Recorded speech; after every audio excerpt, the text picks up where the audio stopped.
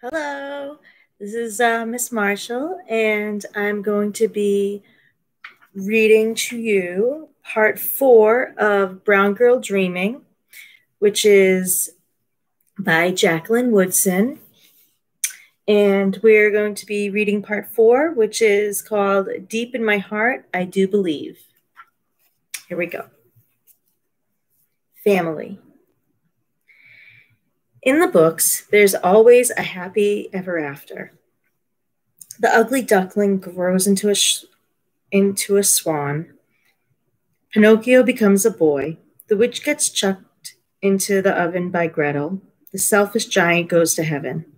Even Winnie the Pooh seems to always get his honey.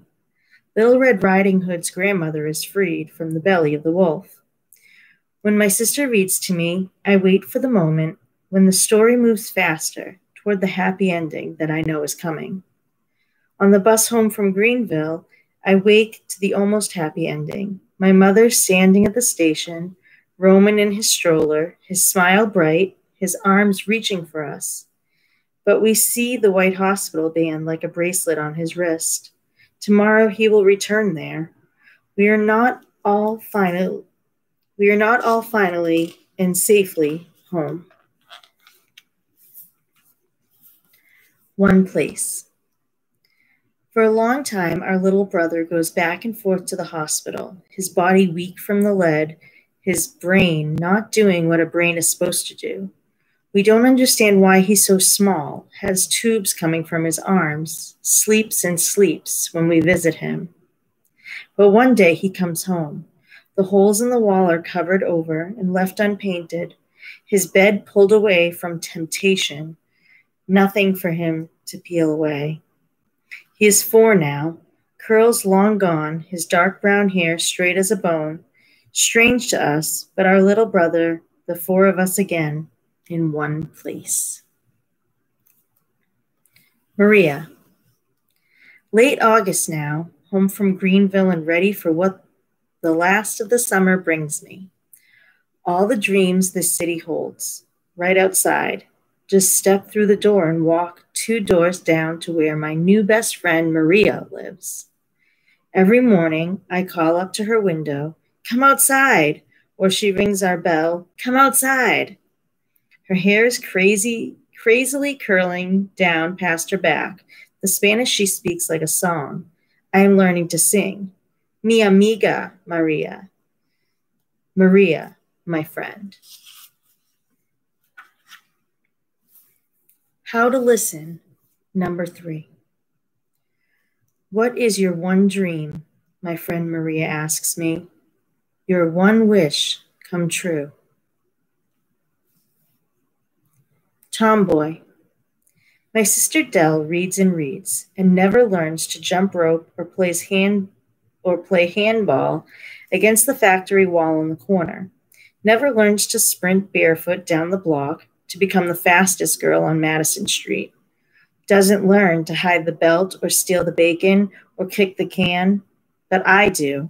And because of this, Tomboy becomes my new name. My walk, my mother says, reminds her of my father. When I move long legged and fast away from her, she remembers him. Game over. When my mother calls, Hope, Dell, Jackie, inside, the game is over. No more reading beneath the streetlight for Dell. But for my brother and me, it's no more anything. No more steal the bacon, Coco Levio 123, Miss Lucy had a baby, spinning tops, double Dutch. No more freeze tag, hide the belt, hot peas and butter. No more singing contests on the stoop. No more ice cream truck chasing. Wait, wait, ice cream man, my mother's gonna give me money. No more getting wet in the Johnny pump or standing with two fisted hands out in front of me, a dime hidden in one, chanting, Dumb school, dumb school, which hands it in? When my mother calls, Hope, Dell, Jackie, inside! We complain as we walk up the block in the twilight. Everyone else is allowed to stay outside till dark. Our friends standing in the moment, string halfway wrapped around a top, waiting to be tagged and unfrozen, searching for words to a song, dripping from the Johnny pump. Silent in the middle of Miss Lucy had a, the game is over for the evening, and we all can hear our friends. Aw, man, bummer. For real? This early? Dang it. Shoot, your mama's mean. Early birds. Why she gotta mess up our plane like that? Geez, now the game's over. Lessons. My mother says, when Mama tried to teach me to make collards and potato salad, I didn't want to learn. She opens the box of pancake mix, adds milk and eggs, stirs. I watch, grateful for the food we have now syrup waiting in the cabinet, bananas to slice on top. It's Saturday morning. Five days a week, she leaves us to work at an office in Brownsville. Saturday, we have her to ourselves all day long. Me and Kay didn't want to be inside cooking. She stirs the lumps from the batter, pours it into the buttered, hissing pan. Wanted to be with our friends, running wild through Greenville. There was a man with a peach tree down the road. One day, Robert climbed over that fence, filled a bucket with peaches. Wouldn't share them with any of us, but he told us where the peach tree was.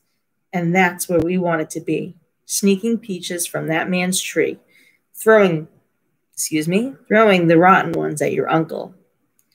Mama wanted us to learn to cook. Ask the boys, we said, and Mama knew that wasn't fair.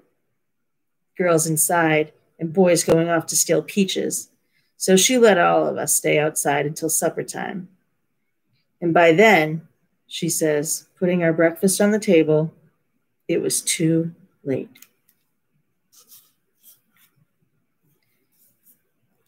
Trading places. When Maria's mother makes arroz con habichuelas y tostones, we trade dinners. If it's a school night, I'll run to Maria's house, a plate of my mother's baked chicken with Kraft mac and cheese, sometimes boxed cornbread, sometimes canned string beans, warm in my hands, ready for the first taste of Maria's mother's garlicky, garlicky rice and beans, crushed green bananas, fried and salted and warm. Maria will be waiting, her own plate covered in foil. Sometimes we sit side by side on her stoop, our traded plates in our laps. What are you guys eating? The neighborhood kids ask, but we never answer, too busy shoveling the food we love into our mouths. Your mother makes the best chicken, Maria says, the best cornbread, the best everything. Yeah, I say. I guess my grandma taught her something after all. Writing, number one. It's easier to make up stories than it is to write them down. When I speak, the words come pouring out of me. The story wakes up and walks all over the room, sits in a chair, crosses one leg over the other, says, Let me introduce myself. Then just starts going on and on. But as I bend over my composition notebook, only my name comes quickly, each letter neatly printed between the pale blue lines. Then white space and air, and me wondering, how do I spell introduce? Trying again and again until there's nothing but pink bits of eraser and a hole now where a story should be. Late autumn. Miss Mosh, Miss Moshkovitz calls us one by one and says, Come up to the board and write your name. When it's my turn, I walk down the aisle from my seat in the back. Write Jacqueline Woodson, the way I've done a hundred times. Turn back toward my seat, proud as anything, of my name in white letters on the dusty blackboard. But Miss Moshkowitz stops me, says, In cursive too, please. But the Q in Jacqueline is too hard, so I write Jackie Woodson for the first time. Struggle only a little bit with the K. Is that what you want us to call you? I want to say, no, my name is Jacqueline, but I'm scared of that cursive Q. No, I may never be able to connect it to the C, to C and you, so I nod, even though I'm lying. The other Woodson. Even though so many people think my sister and I are twins, I'm the other Woodson, following behind her each year into the same classroom she had the year before. Each teacher smiles when they call my name. Woodson, they say, you must be Odella's sister. Then they nod slowly over and over again. Call me Odella. Say, I'm sorry. You look so much like her, and she's so brilliant. Then wait for my brilliance to light up the, classroom. Wait for my arm to fly into the air with every answer.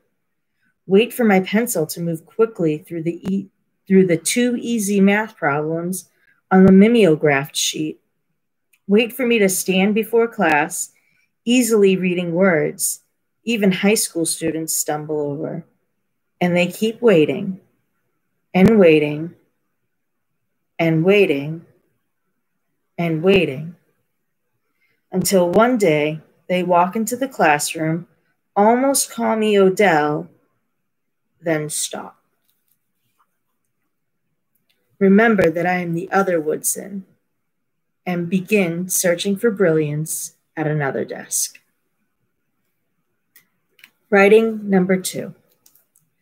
On the radio, Sly and the Family Stone are singing Family Affair the song turned up because it's my mother's favorite, the one she plays again and again.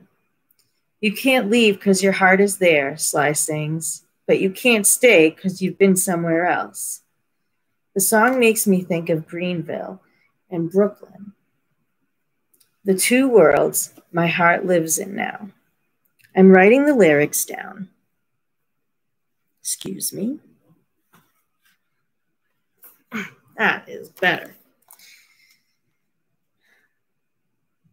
Let's see, where were we?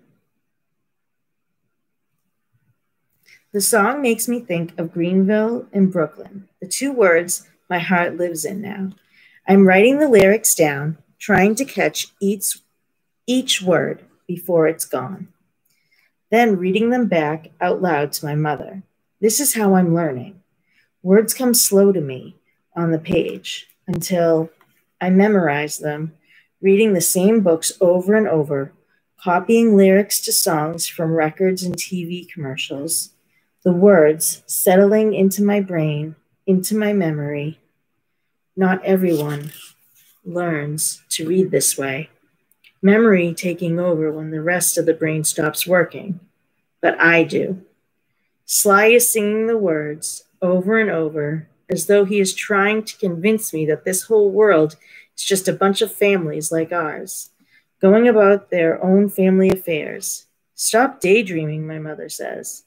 So I go back to writing down words that are songs and stories and whole new worlds, tucking themselves into my memory. Birch Tree Poem. Before my teacher reads the poem, she has to explain a birch, she says, is a kind of tree. Then magically she pulls a picture from her desk drawer, and the tree is suddenly real to us. When I see birches bent to left and right, she begins, across the lines of straighter, darker trees, I like to think, and when she reads, her voice drops down so low and beautiful. Some of us put our heads down, our heads on our desk, to keep the happy tears from flowing. Some boys been swinging them, but swinging doesn't bend them down to stay, as ice storms do.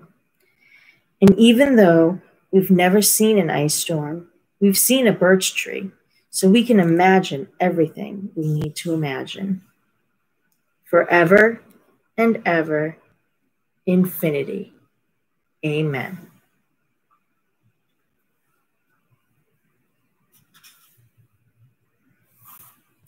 How to listen, number six. When I sit beneath the shade of my block's oak tree, the world disappears. Reading. I'm not my sister. Words from the books curl around each other, make little sense until I read them again and again, the story settling into memory. Too slow, the teacher says. Read faster. Too babyish, the teacher says. Read older. But I don't want to read faster or older or any way else that might make the story disappear too quickly from where it is settling inside my brain, slowly becoming a part of me. A story I will remember long after I've read it for the second, third, tenth, hundredth time. Stevie and me. Every morning, my mother takes us to the library around the corner. We are allowed to take out seven books each. On those days, no one complains that all I want are picture books. Those days, no one tells me to read faster, to read harder books, to read like Dell. No one is there to say, not that book, when I stop in front of the small paperback with a brown boy on the cover Stevie. I read, One day my mama told me, You know, you're going to have a little friend come stay with you. And I said, Who is it? If someone had been fussing with me to read like my sister, I might have missed the picture book filled with brown people, more brown people than I've ever seen in a book before. The little boy's name was Stephen, but his mother kept calling him Stevie. My name is Robert, but my mama don't call me Robert T. If someone had taken that book out of my hand, said, You're too old for this, maybe I'd never have believed that someone who looked like me could be in the pages of a book.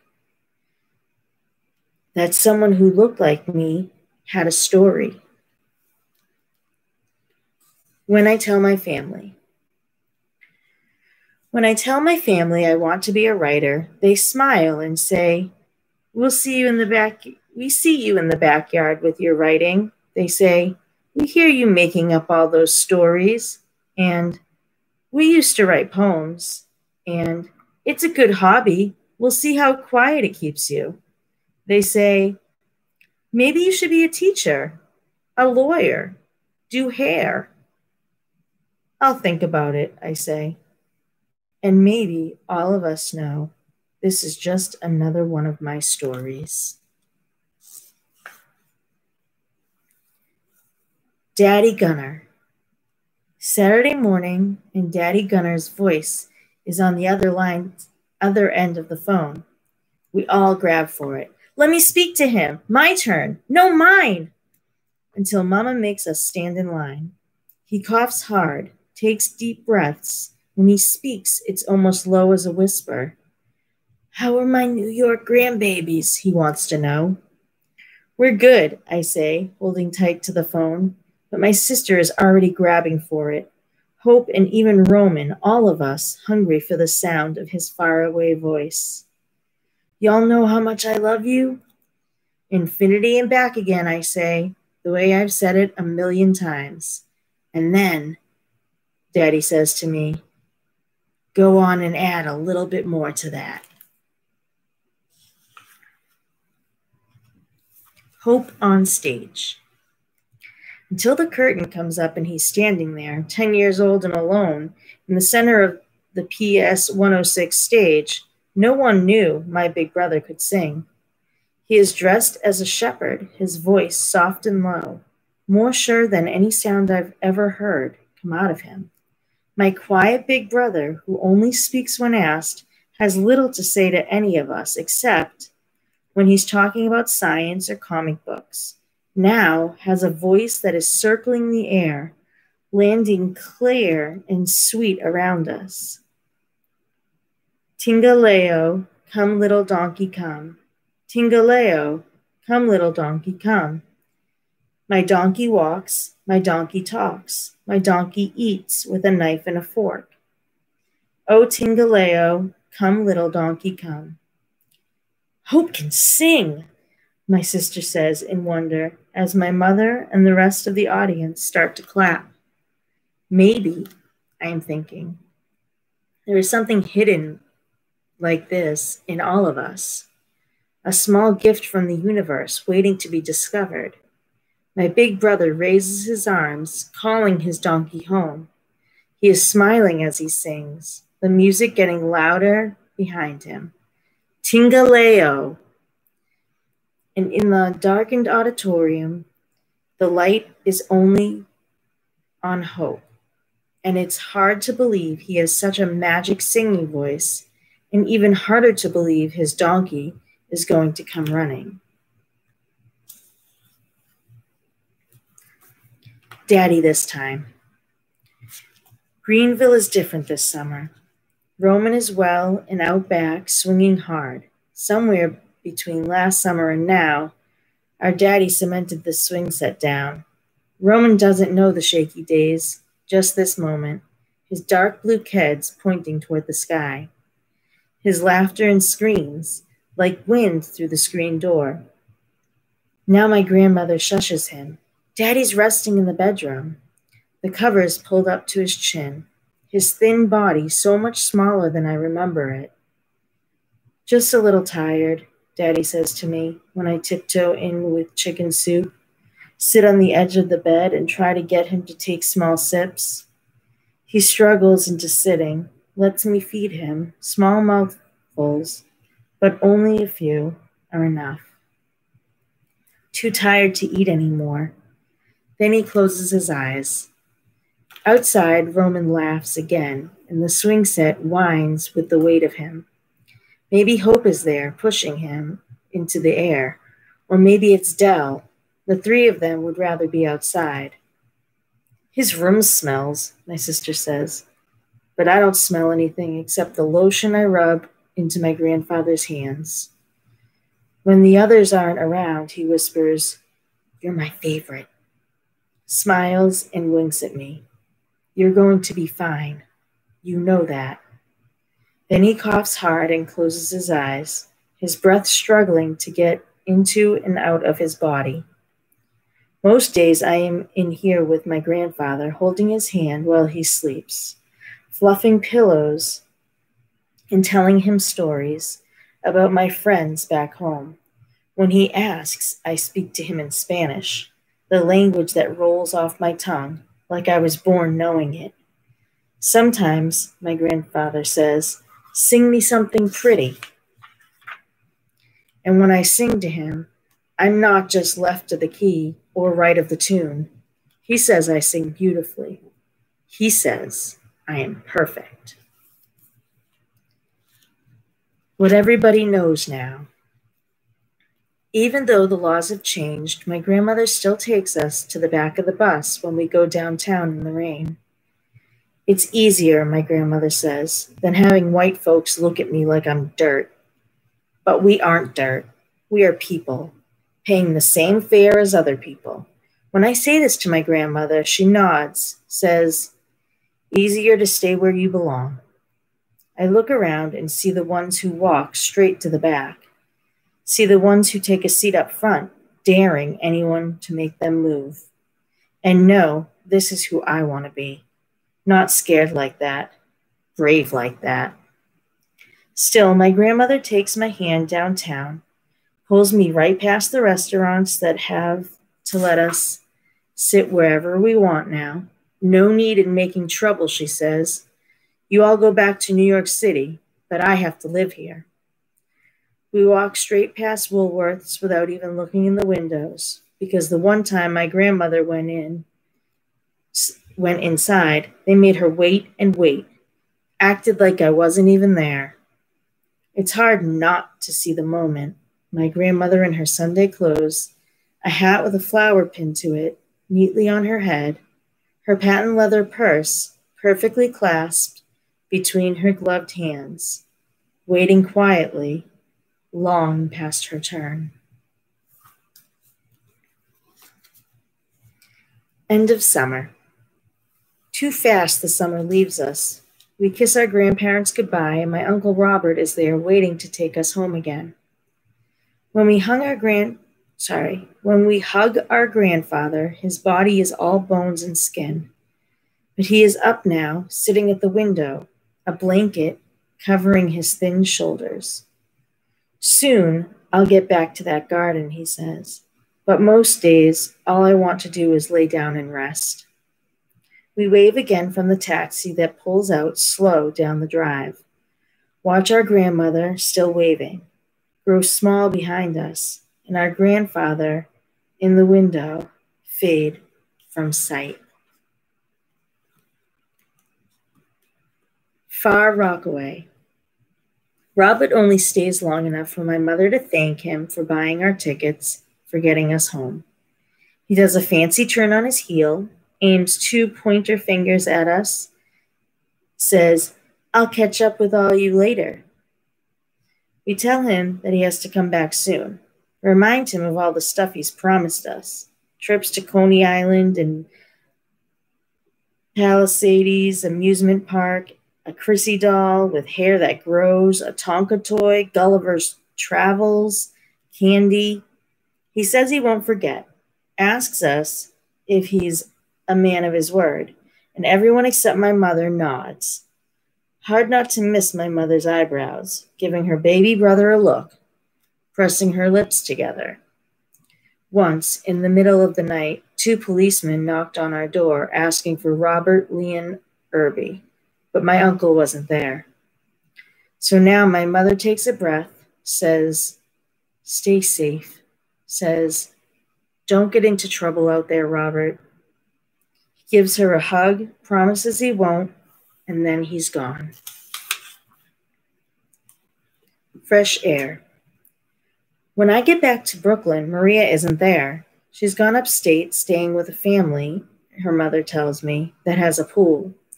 Then her mother puts a plate of food in front of me, tells me how much she knows I love her rice and chicken. When Maria returns, she is tanned and wearing a new short set. Everything about her seems different. I stayed with white people, she tells me. Rich white people. The air upstate is different. It doesn't smell like anything. She hands me a piece of bubble gum with bubble yum in bright letters. That is what they chew up there the town was called Schenectady. All the rest of the summer, Maria and I buy only bubble yum, blow huge bubbles while I make her tell me story after story about the white family in Schenectady. They keep saying I was poor and trying to give me stuff, Maria says. I had to keep telling them it's not poor where we live. Next summer, I say, you should just come down south. It's different there. And Maria promises she will. On the sidewalk, we draw hopscotch games that we play using chipped pieces of slate, chalk. Maria and Jackie, best friends forever, whoever there is smooth stone. Write it so many times that it's hard to walk on our side of the street without looking down and seeing us there. P.S. 106 Haiku. Jacqueline Woodson. Excuse me. I'm finally in fourth grade. It's raining outside. Learning from Langston. I loved my friend. He went away from me. There's nothing more to say.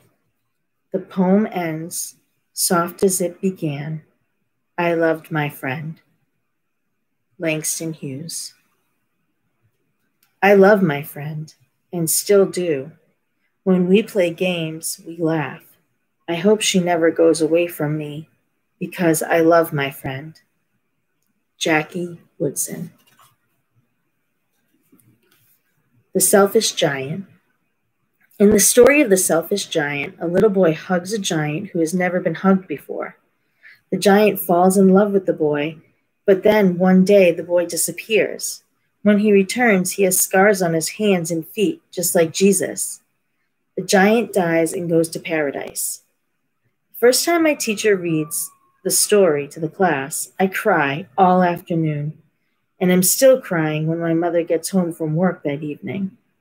She doesn't understand why I want to hear such a sad story again and again, but takes me to the library around the corner when I beg and helps me find the book to borrow, The Selfish Giant by Oscar Wilde. I read the story again and again.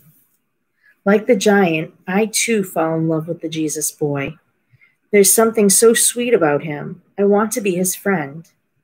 Then, one day, my teacher asked me to come up front to read out loud. But I don't need to bring the book with me. The story of the selfish giant is in my head now, living there, remembered. Every afternoon, as they were coming from school, the children used to go and play in the giant's garden. I tell the class, the whole story flowing out of me right up to the end when a boy says, These are the wounds of love. You let me play once in your garden. Today you shall come with me to my garden, which is paradise. How did you do that? My classmate asked. How did you memorize all those words? But I just shrug, not knowing what to say. How can I explain to anyone that stories are like air to me? I breathe them in and let them out over and over again. Brilliant, my teacher says, smiling. Jackie, that was absolutely beautiful. And I know now words are my Tingalayo. Words are my brilliance.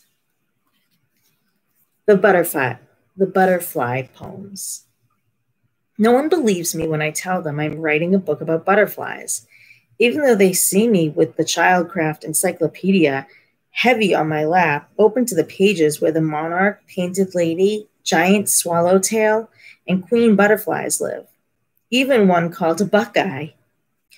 When I write the first words, wings of a butterfly whisper, no one believes a whole book could ever come from something as simple as butterflies that don't even, my brother says, live that long. But on paper, things can live forever. On paper, a butterfly never dies. Six minutes. The sisters in the Kingdom Hall get six minutes to be on stage, in pairs or threes, but never alone. We have to write skits where we are visiting another sister or maybe a non believer Sometimes the play takes place at the pretend kitchen, at their pretend kitchen table, and sometimes, excuse me, we're in their pretend living room. But in real life, we're just in folding chairs, sitting on the Kingdom Hall stage. The first time I have to give my talk, I ask if I can write it myself without anyone helping. There are horses and cows in my story, even though the main point is supposed to be the story of the resurrection. Say, for instance, I write, We have a cow and a horse that we love. Is death the end of life for those animals? When my mother reads those lines, she shakes her head. You're getting away from the topic, she says. You have to take the animals out of it. Get right to the point. Start with people.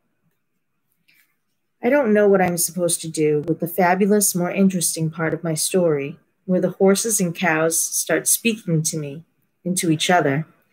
How, even though they are old and won't live much longer, they aren't afraid. You only have six minutes, my mother says. And no, you can't get up and walk across the stage to make your point. Your talk has to be given sitting down. So I start again, rewriting. Good afternoon, sister. I'm here to bring you some good news today. Did you know God's world is absolute? If we turn to John chapter 5, verses 28 and 29, promising myself there'll come a time when I can use the rest of my story and stand when I tell it, give myself, my horses, and my cows a whole lot more time than six minutes. First book. There are seven of them, haikus mostly, but rhyming ones too not enough for a real book until I cut each page into a small square, staple the squares together, write one poem on each page. Butterflies by Jacqueline Woodson on the front. The Butterfly Book complete. now. John's Bargain Store. Down Knickerbocker Avenue is where everyone on the block goes to shop. There's a pizzeria if you get hungry, 75 cents a slice. There's an ice cream shop where cones cost a quarter. There's Fabco Shoes Store and a beauty parlor, a Woolworth's Five and Dime, and a John's Bargain Store. For a long time, I don't put one foot inside Woolworths. They wouldn't let black people eat at their lunch counters in Greenville, I tell Maria. No way are they getting my money. So instead, Maria and I go to John's Bargain Store, where three, three t-shirts cost a dollar. We buy them in pale pink, yellow, and baby blue. Each night we make a plan. Wear your yellow one tomorrow, Maria says, and I'll wear mine.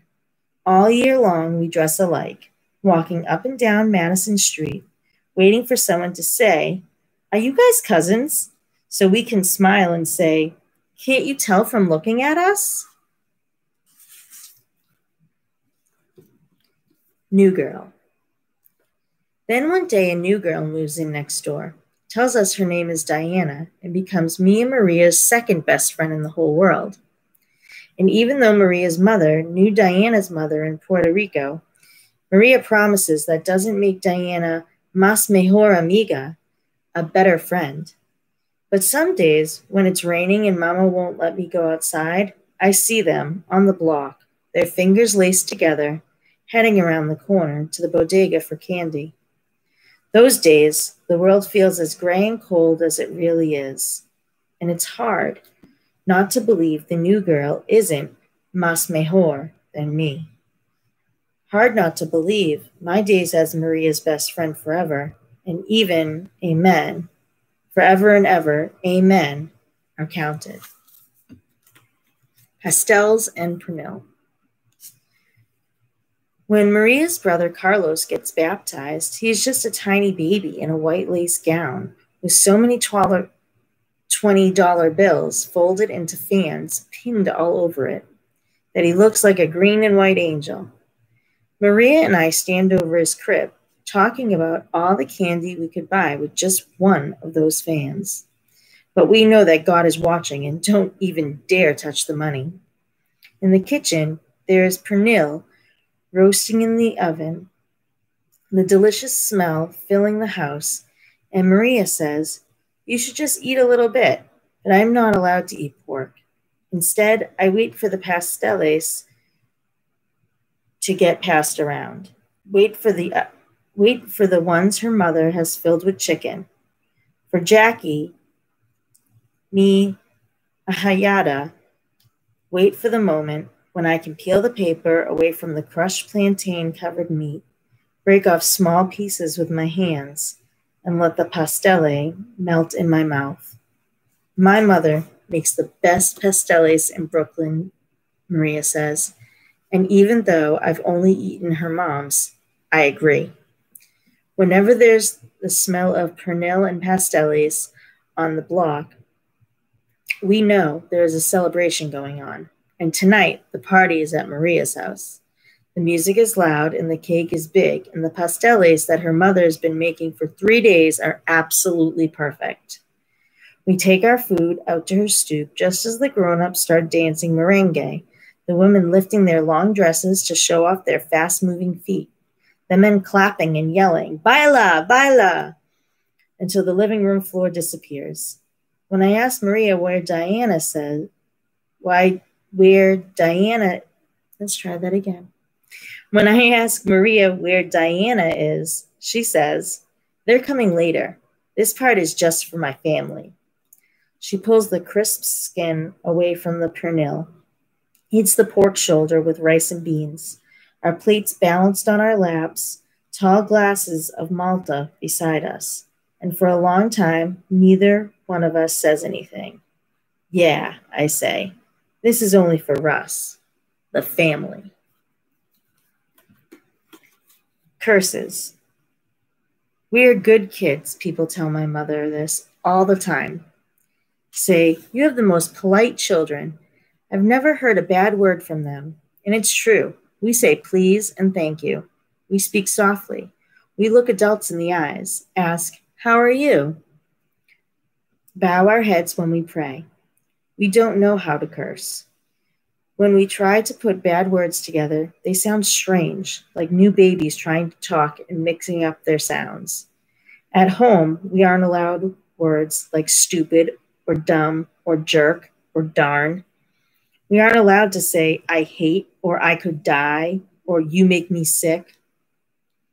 We're not allowed to roll our eyes or look away when my mother is speaking to us. Once my brother said but and wasn't allowed to play outside after school for a week.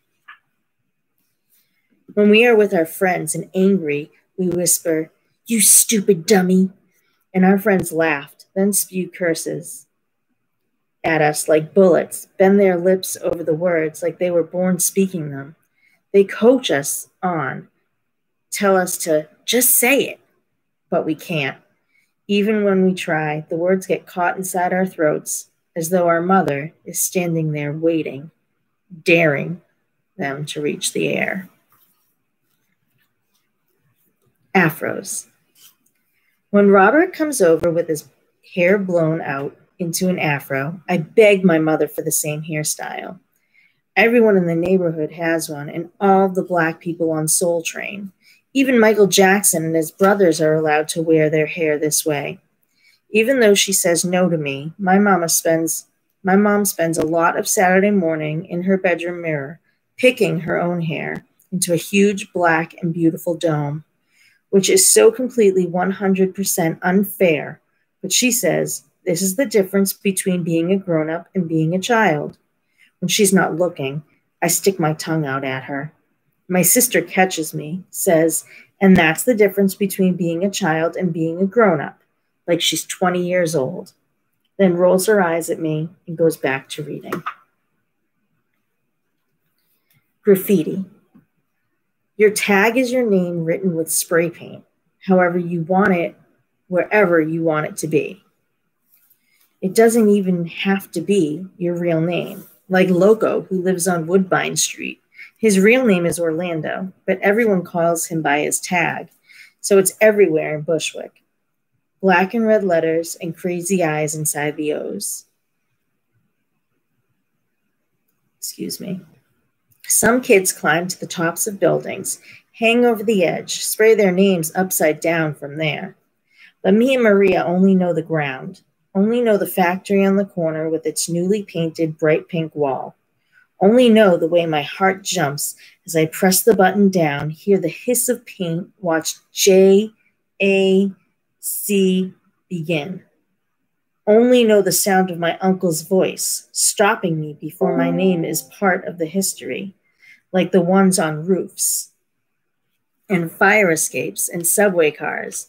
I wish I could explain, Wish I had the words to stop his anger, stop the force of him grabbing my hand.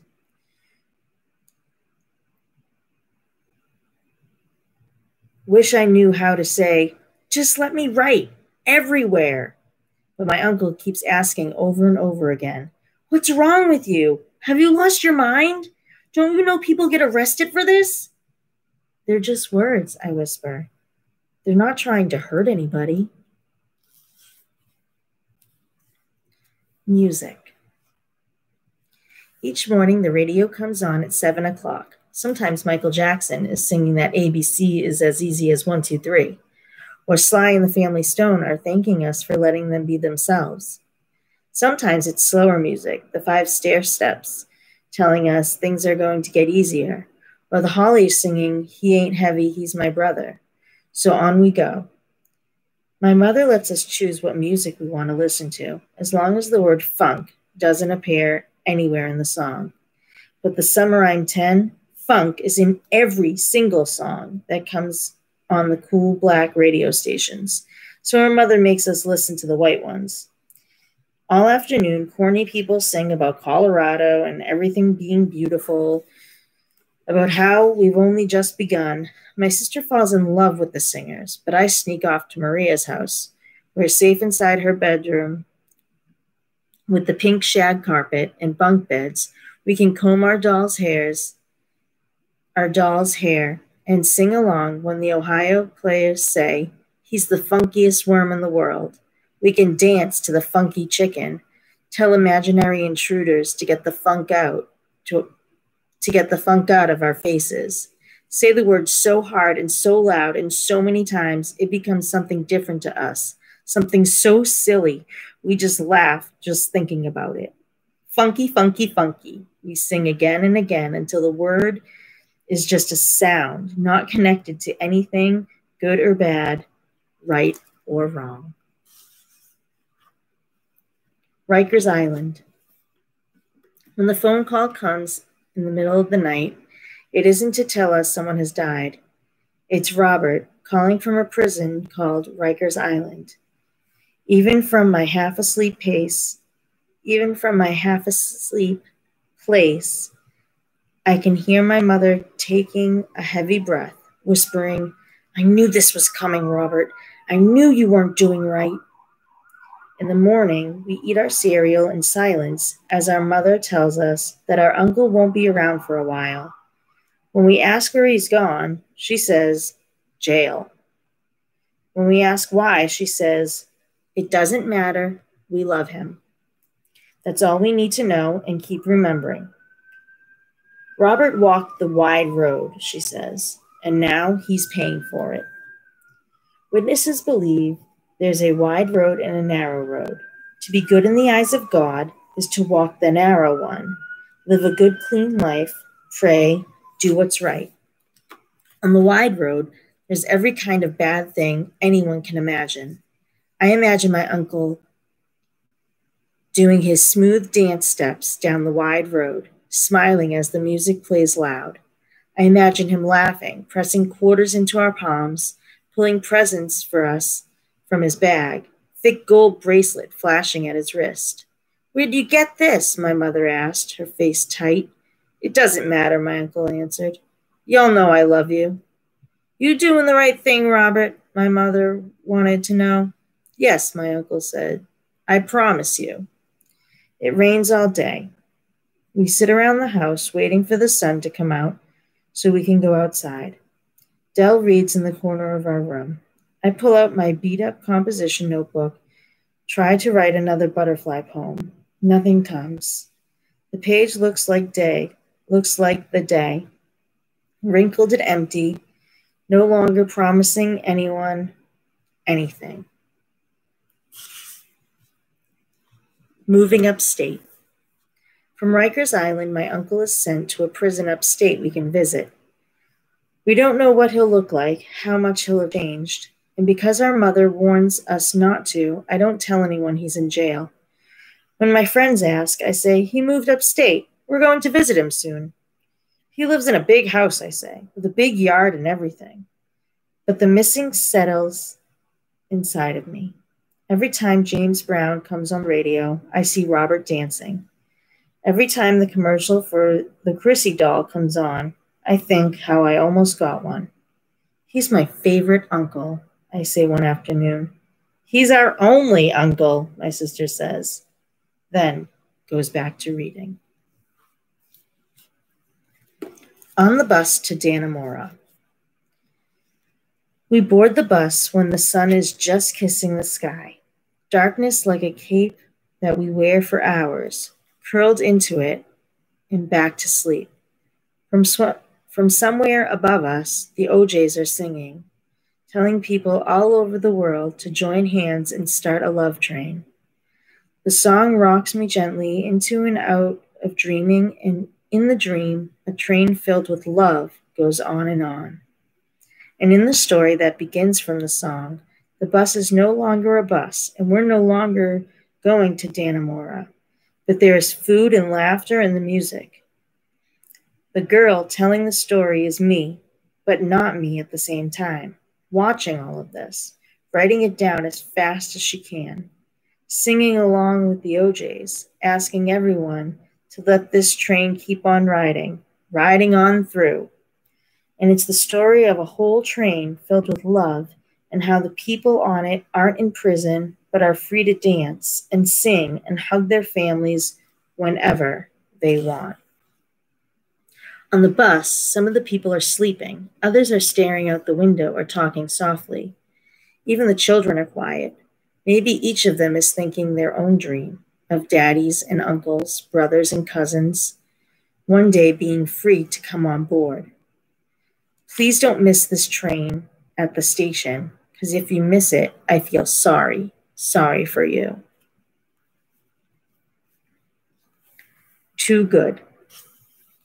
The bus moves slow out of the city until we can see the mountains, and above that, so much blue sky. Passing the mountains, passing the sea, passing the heavens, that's soon where I will be. A song comes to me quickly, the words moving through my brain and out of my mouth in a whisper. But still, my sister hears, asks who taught it to me. I just made it up, I say. No, you didn't, she says back. It's too good. Someone taught that to you. I don't say anything back. I just look out the window and smile. Too good, I'm thinking. The stuff I make up is too good. Dannemora. At the gate of the prison, guards glare at us, then slowly allow us in. My big brother is afraid. He looks up at the barbed wire, puts his hands in his pockets. I know he wishes he was home with his chemistry set. I know he wants to be anywhere but here. Nothing but stone and a big building that goes so far up and so far back and forth that we can't see where the beginning is or where, where it may end. Gray brick, small windows covered with wire. Who could see out from there? From here. The guards check our pockets, check our bags, make us walk through x ray machines.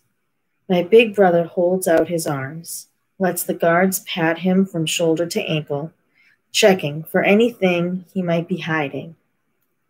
He is Hope Austin Woodson II, part of a long line of Woodsons, doctors and lawyers and teachers. But as quickly as that, he can become a number, like Robert Leon Irby is now.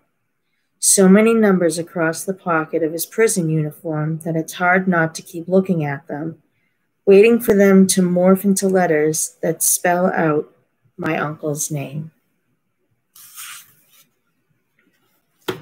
Not Robert.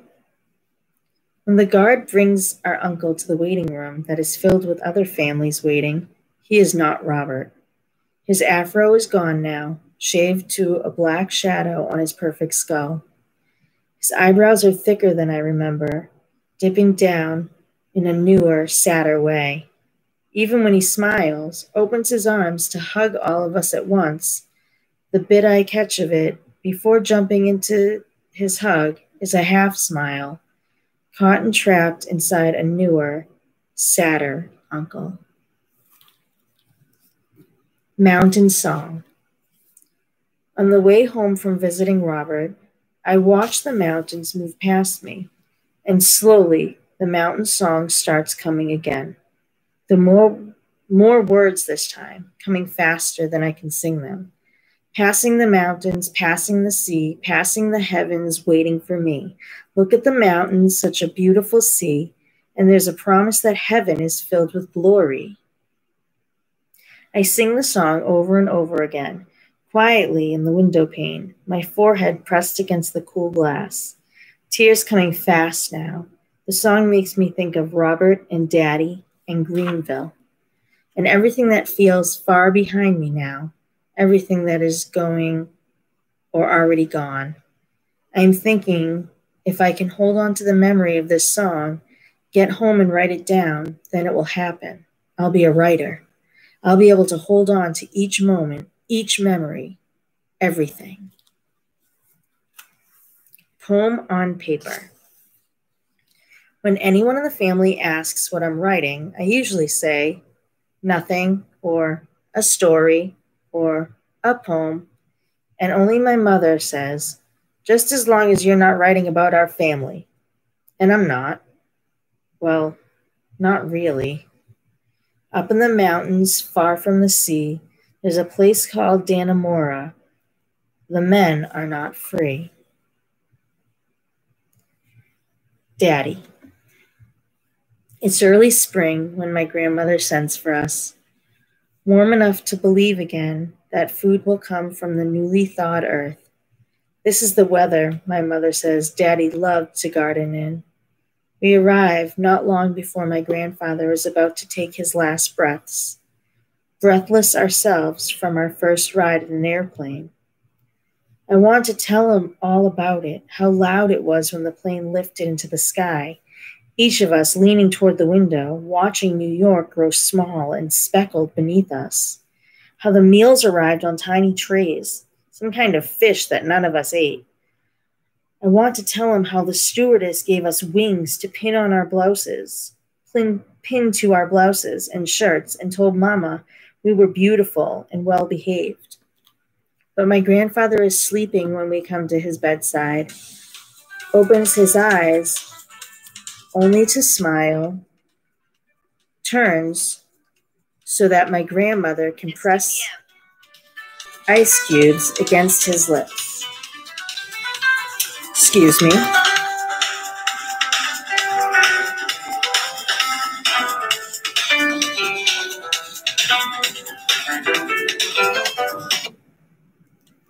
Sorry about that.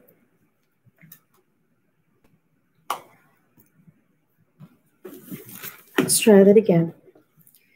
I'm going to be at the top of page 277. My grandfather is sleeping when we come to his bedside, opens his eyes only to smile, turns so that my grandmother can press ice cubes against his lips. Excuse me. She tells us he needs his rest now. That evening, he dies. On the day he is buried, my sister and I wear white dresses, the boys in white shirts and ties. We walk slowly through Nickeltown, a long parade of people who loved him Hope, Dell, Roman, and me, leading it.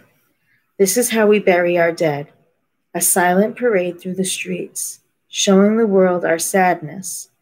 Others who knew my grandfather joining in on the walk, children waving, grown ups dabbing at their eyes. Ashes to ashes, we say at the gravesite. With each handful of dirt, we drop gently onto his lowering casket. We will see you in the by and by, we say. We will see you in the by and by. How to listen, number seven. Even the silence has a story to tell you. Just listen listen. Okay, so that is the end of part four. And the next part I will read will be part five Ready to Change the World. Have a good one.